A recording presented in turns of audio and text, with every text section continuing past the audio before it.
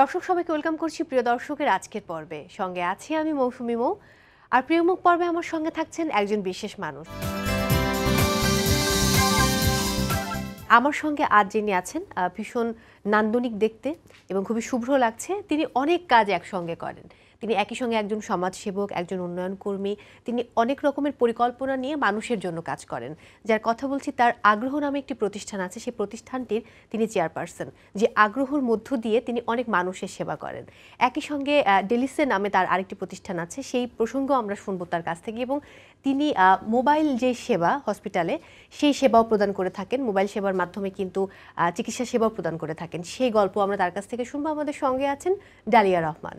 স্বাগত। খুবই সুন্দর লাগছে দেখতে। কেমন আছে থ্যাংক ইউ আলহামদুলিল্লাহ ভালো আছি। আগ্রহ নিয়েই আমরা আগ্রহ প্রকাশ করি শুরুতে। মানে আগ্রহ প্রতিষ্ঠা হয়েছিল কবে?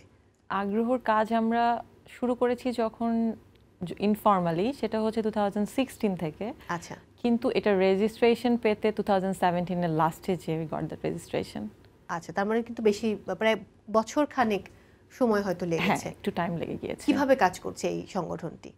সংগঠনটি এনজিও বলতে পারি NGO G non governmental organisation আগ্রহর পরিকল্পনাটা ছিল যখন আমরা শুরু করি তখন সোশ্যাল ওয়ার্ক কীভাবে কি করা যায় তখন আমরা দেখলাম যে প্লাস্টিক পলিউশন নিয়ে অনেক মানে অ্যাওয়ারনেস দরকার।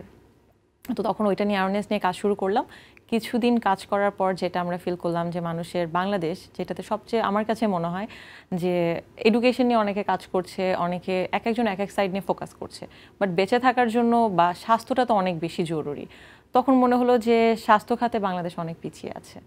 তো আমরা চার বছর আগে যখন এখানে কাজ শুরু করি তখন আমরা স্বাস্থ্য বন্ধু নামে একটা প্রজেক্ট দিয়ে শুরু করলাম। সেখানে ফিমেলদেরকে আমরা অ্যাসাইন করেছি। ছেলেরাও ছিল। তারা সাইকেল নিয়ে নিয়ে আমরা সাভার থেকে আমাদের রিজনাল অফিস হচ্ছে সাভারে আচ্ছা। নবীনগরে। ওইখান থেকে আমরা শুরু করলাম যে মেয়েরা বাড়িতে বাড়িতে যেত। সাইকেল নিয়ে তাদের কাছে এরকম নোটবুক সব কিছু থাকতো। তারা বাড়িতে যে নিউট্রিশন বাচ্চাদের মহিলাদের বিভিন্ন গাইনোকোলজিক্যাল যে প্রবলেমগুলো থাকে বা যেটা তারা হাজব্যান্ডকেও বলতে পারছে না। অনেক প্রবলেম থাকে ডক্টরের কাছেও যায় না। আমাদের দেশে মহিলাদের কিছু জিনিস কিন্তু আমরা জানি যে লুকায় রাখে যে আচ্ছা এই প্রবলেমটা থাক ঠিক হয়ে যাবে। ওই চিন্তাটা আমার মাথা থেকে মহিলা আচ্ছা ওরা গেল ওরা যে যে তাদের সব প্রবলেমগুলা বয়স্ক যারা আছে বিভিন্ন নোট ডাউন করে নিয়ে আসতো। আমরা মান্থলি ডক্টর নিয়ে যেতাম। ঠিক আছে? তো যখন দেখতাম যেই সমস্যাটা বেশি আমরা সেই টাইপের ডক্টর হ্যাঁ ডক্টর নিয়ে তাদেরকে ফ্রি ট্রিটমেন্ট দেওয়া হতো। মানে প্রত্যেক মাসে দুইশো তিনশো এরকম মানে সত্যি কথা মানে যখন আমি দেখতাম যে কিছু বয়স্ক মানুষ বসে আছে বা তাদের চোখে যে আচ্ছা আমাদের সাভার কিন্তু ঢাকার বেশি দূরেও না। ওইখানেই যদি এই অবস্থা থাকে আপনি আরও দূরে চিন্তা করেন। প্রত্যন্ত অঞ্চলগুলোতে আরও খারাপ অবস্থা। আরও খারাপ অবস্থা। সেখানে বয়স্ক মানুষ এসে বসে আছে তারা সেবার জন্য যে ডাক্তার দেখবে। তো তখন মনে হচ্ছে যে আসলে আর কিছু দরকার নাই। মানে এইটা যদি করে যাই মানে এটার মধ্যে একটা অদ্ভুত শান্তি আছে এই কাজের মধ্যে। কিন্তু ওই যে আপনি পড়েছেন অর্থনীতিতে অর্থনীতিতে পড়ে যখন আপনি গবেষণা করেছেন যেই সাবজেক্টে যে দেশের সরকারি এবং বেসরকারি আহ, হসপিটালগুলোর যে তুলনামূলক একটা মূল্যায়ন। চিকিৎসা সেবার এই টপিকে কেন গেলেন? এটা আমি ইকোনমিক্সে যখন আমি আন্ডারগ্র্যাড করেছি ইকোনমিক্সে তারপর যখন আমার মনে হয়েছে যে আমি মানে উন্নয়ন বা দেশের এই টাইপের কাজ করব তখন আমি মাস্টার্স করেছি ব্র্যাক থেকে ডেভেলপমেন্ট স্টাডিজের উপরে। ওইখানে কাজ করতে পড়ার সময় আমি নিউজ পেপারে লেখালেখি শুরু করি বিভিন্ন আর্টিকেল তো ওইখানে একজন আমাকে জাস্ট আমাদের একটা কোর্স ছিল সেখানে আমার একজন ওই তখন উনি ভিসি ছিলেন। তো সে আমাদের কয়েকজনকে চুজ করল যে আমার সাথে তোমরা কাজ করতে পারবে। কারণ ব্র্যাকের ভিসি সে খুবই মানে ওই টাইমটা আসলে এক্সপ্লেন করা যাবে না। তো ওই কোর্সটাতে ওনার কাছে অনেক কিছু শিখেছি। তো উনি তখন আমাদের কয়েকজনকে চুজ করলেন। উনি মেনলি এই হেলথ নিয়ে উনি অনেক বছর ধরে কাজ করছিলেন। ওনার সাথে একটা আর্টিকেল নিয়ে কাজ করতে যেই এই স্বাস্থ্য নিয়ে কাজ করাটা শুরু আচ্ছা, হয়েছে। গবেষণার মানে প্রাপ্ত ফলাফল কি ছিল? এক এক ধরনের গবেষণা এক একটা ফলাফল বাট আমি অনেক শিখেছি।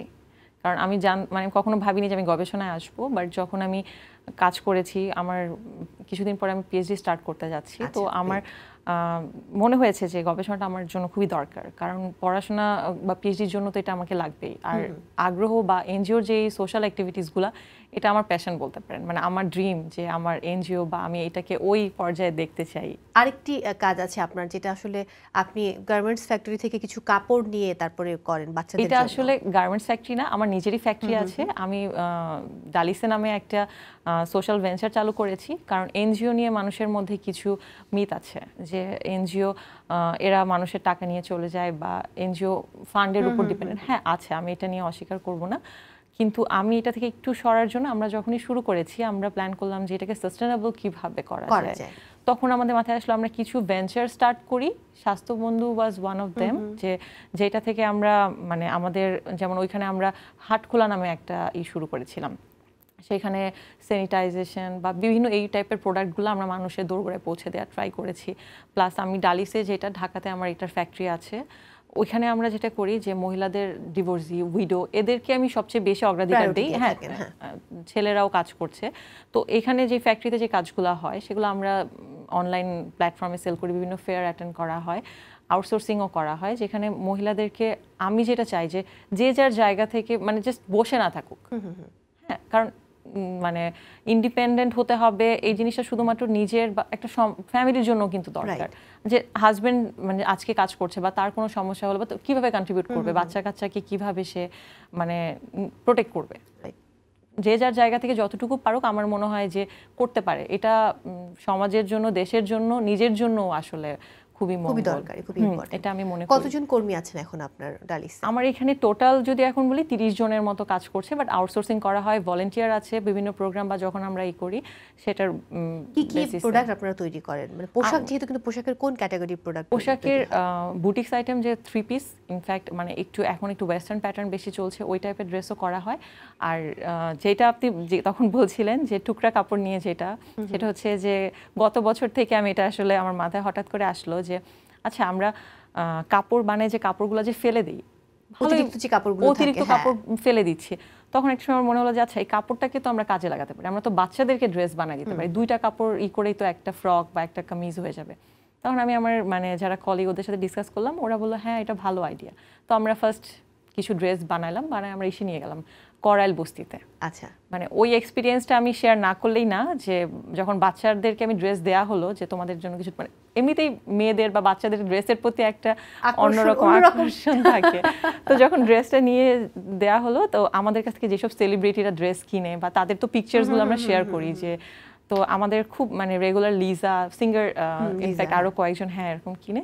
তো আমরা ওদেরকে দেখাচ্ছি দেখো তুমি যে ড্রেসটা পরেছো দেখতে চাও যে এটা কে পরেছে?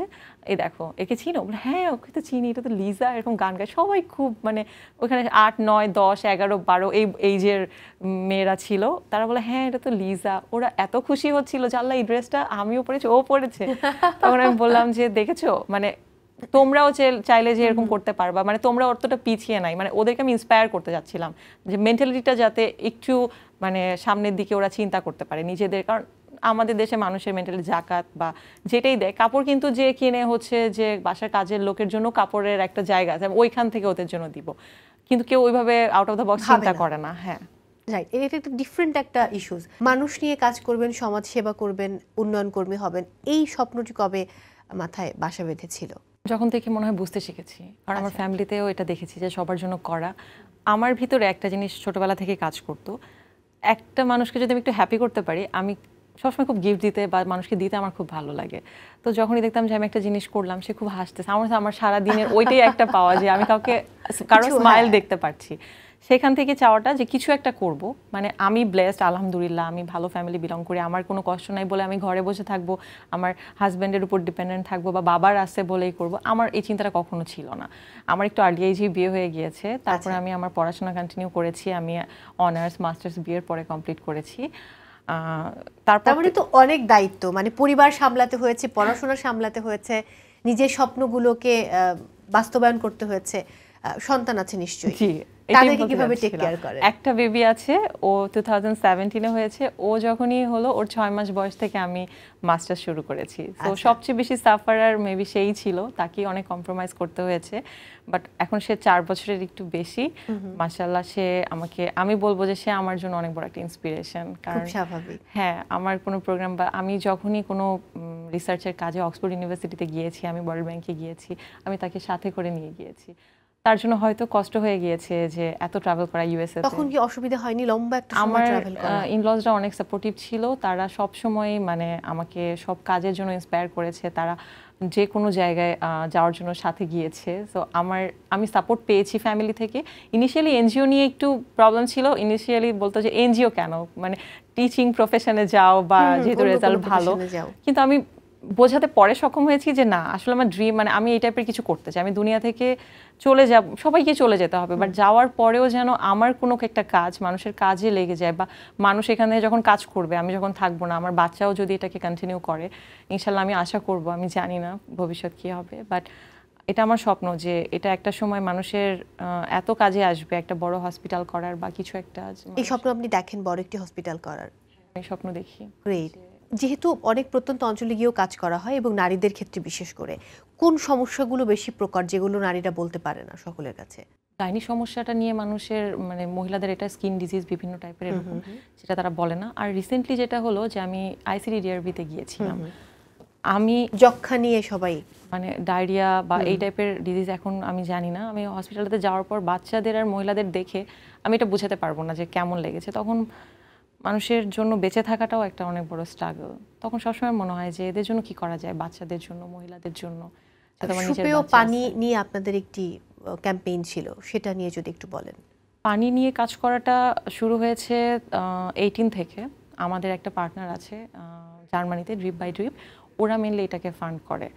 আমরা যেহেতু সাভার এরিয়া বেসড কাজ শুরু করেছি মানিকগঞ্জ সাভার ওইখানে যে ইন্ডাস্ট্রিগুলো আছে সেখানকার বংশী নদীর আশেপাশে এরিয়ার পানিগুলা খুবই মানে পলিউটেড ওইখানকার পানি আশেপাশের এরিয়ার মানুষ বিশুদ্ধ পানি পান করতে পারছে না। ওই চিন্তা থেকে আমরা যেটা করলাম যে আমরা বায়োস্যান্ড ফিল্টার দেওয়া স্টার্ট করেছি। আমরা আরও কিছু দিব অলরেডি কিছু দেওয়া হয়েছে। আচ্ছা আপনার সব কাজগুলো কিন্তু যেহেতু সতেরো সালে শুরু তার মানে সময় কিন্তু খুব অল্প কিন্তু অল্প সময়ে অনেকটা পৌঁছে গেছেন মানুষের কাছে। সেটা কীভাবে সম্ভব হয়েছে? ওই যে অনেক বেশি দৌড়াতে হয়েছে। একসাথে পড়াশোনা একসাথে এনজিও তারপর রিসার্চের কাজ করেছি। ইউনিসেফের সাথে যে কাজটা করলাম তখন আমি সিলেটে গিয়েছিলাম হাওড় এরিয়াতে। আমার ফার্স্ট টাইম হাওড় এরিয়া ভিজিট তখন আমি ওইখানে যাওয়ার পর আমি প্রত্যেকটা জায়গায় গিয়েছি আমি শিখেছি। আমি ফিল করেছি যে কোন জায়গাটাতে কি করতে হবে কোথায় কি দরকার? মানুষের মধ্যে যখন শুনে যে আমি এনজিওতেও কাজ করছি সবার একটা হবে আমাদের জন্য কিছু একটা করেন রাইট খুব স্বাভাবিক। একটু মোবাইল হাসপাতাল নিয়ে জানব সেখানে কীভাবে মানুষকে সেবা দিয়ে থাকেন? মোবাইল হসপিটালটাতে স্যাভলন আমাদের সাথে জয়েন্টলি কাজ করছে। মোবাইল হসপিটাল একটা গাড়ি থাকে যেটার মধ্যে কিছু ইকুইপমেন্ট আছে। যেমন করোনার মধ্যে এটা মানে বলতে পারি যে মানুষের জন্য অনেক বেশি উপকার হয়েছে। কারণ অন্য সময় যেটা হয় যে হাওড়ি বা আমরা জায়গাগুলোই চর হাওড়ি এভাবে চুজ করি যেখানে মানুষ চাইলেই স্বাস্থ্যসেবাটা ইজিলি নিতে পারছে না। নদী পার হয়ে ডাক্তারের কাছে আসা বা এটা ইজি হয় না। তো সাত দিন করে হসপিটালটা মানে গাড়িটা একটা জায়গায় স্টে করে যেখানে যেখানে আমাদের ওই সুবিধাটা আছে আমরা ওইখানে রিচ করি। ডক্টর নার্স সবই থাকে। ওইখানে এই যে যেমন করোনার মধ্যে স্যানিটাইজার থেকে শুরু করে মানুষের যে প্রবলেমগুলো সব সলভ করতে সক্ষম হয়েছি আমরা তার মানে পরিধিটা অনেক। নিজের সন্তানকে নিয়ে স্বপ্ন কি? ভালো মানুষ হিসাবে তৈরি করতে চাই সে যাতে আমি জানি না সে আমাকে কতটা ফিল করবে আমার মতো হবে বাট চাই যে সেও মানুষের জন্য কিছু করুক সবসময় এই যে এত কাজ করছেন এত ব্যস্ততা সেই ব্যস্ততার মাঝেই সন্তানের পৃথিবীতে আসা সব দিকে আপনাকে সমান তালে সময় দিতে হচ্ছে। পরিবারের যে মানুষটি আপনার অর্ধাঙ্গ তিনি কতটা সাপোর্টিভ আপনার প্রতি? সবাই অনেক সাপোর্ট করেছে এই জন্য আমি আজকে এখানে আসতে পেরেছি। আমি সবার কাছে কৃতজ্ঞ সবার সাপোর্টে আজকের আমি। কারণ একার পক্ষে সম্ভব হতো না। বাচ্চাটাকে বাসায় রেখে যাওয়া, তার টেক কেয়ার করা, তার গ্র্যান্ড প্যারেন্টস সত্যি কথা এটা আমি সবসময় বলব, তারা অনেক সাপোর্ট করেছে। এই জন্য আজকে আমি এই জায়গায় বসে আপনার সাথে কথা বলতে পারছি, আমার যে অর্জনগুলোর কথা বলতে পারছি। ইনফ্যাক্ট আমি ব্র্যাকে পড়ার সময় আমি গোল্ড মেডেল পেয়েছি ভাইস চ্যান্সেলার ওইটা আমি পুরো আমার বাচ্চাকে আমার ফ্যামিলিকে ডেডিকেট করতে চাই। কারণ পড়াশোনাটা মানে এত ইজি ছিল না, কারণ ডিপার্টমেন্ট থেকে যেহেতু ডেভেলপমেন্ট স্টাডিজ ওইখান থেকে গোল্ড মেডেল পাওয়া বাচ্চার ভ্যাকসিন এমনও দিন আছে আমি হসপিটালে যেতে পারি না আমার পরীক্ষা ও ওর জ্বর ওকে ঘুম পাড়ে আমার রাতে পড়তে হয়েছে। মানে ওই দিনগুলো যখন আমি চিন্তা করি তখন আমার মনে হয় যে আসলে অনেক কিছু পার করে এসেছি। বাচ্চাটাকেও অনেক কিছুতে হয়তো তাকেও কম্প্রোমাইজ করতে হয়েছে। আগ্রহ নিয়ে ফিউচার প্ল্যান কি?